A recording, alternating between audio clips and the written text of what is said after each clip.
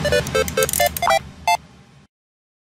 ครับ สวัสดีเพื่อนๆทุกคนนะครับผมก็ยินดีต้อนรับเข้าสู่ช anel My Play Post เหมือนเดิมนะครับ ก็อยู่ด้วยกันกับเกม a r t e n i a n กันนะครับผมสำหรับเกม a r t e n i a n เนี่ยนะครับตอนนี้อย่างที่เราได้ทราบกันดีนะครับผมมีการอัปเดตนะครับระบบที่ชื่อว่า Battle Pass ขึ้นมานั่นเองนะครับ โดยเจ้าระบบ Battle Pass นี่นะครับผมเป็นระบบที่ทำให้ทั้งสายฟรีนะครับแล้วก็สายเติมเงินเนี่ยมีของให้ทำกันนะครับผมซึ่ง Battle Pass เนี่ยถ้าให้เปรียบเทียบนะครับก็จะเป็นเสมือนกับ Season Pass ในเกมอื่นๆนั่นเองนะครับสำหรับระบบนี้นะครับผมเหมาะกับทั้งสายฟรีและสายเติมเงินเลยนะครับผมสำหรับสายฟรีเนี่ยนะครับจะได้รับของทางด้านขวานะครับส่วนคนที่เติมเงินนะครับจะได้ของเพิ่มมาอีกนะครับผมก็คือมีคำว่าพรีเมียมทางด้านซ้ายมือนั่นเองนะครับโดยราคาที่เราจะต้องจ่ายนะครับอยู่ที่ 600 คริสตัลเท่านั้นนะครับซึ่งก็เรียกว่าไม่แพงเลยนะครับเราสามารถเก็บของได้มันมีของอยู่100เลเวลนะครับทุกเลเวลเนี่ยจะมีของนะครับวิธีการเก็บเลเวลและรับของเนี่ยทุกวันนะครับจะมี quest มาให้เราทำนะครับก็พยายามทำทุกวันแล้วก็จะได้เป็นแต้มนะครับผมเอามา up level พออัพเลเวลปุ๊บเราก็จะได้ item ในหน้าของ reward นั่นเองนะครับถ้าหากว่าคิดว่าเก็บไม่ทันสามารถซื้อ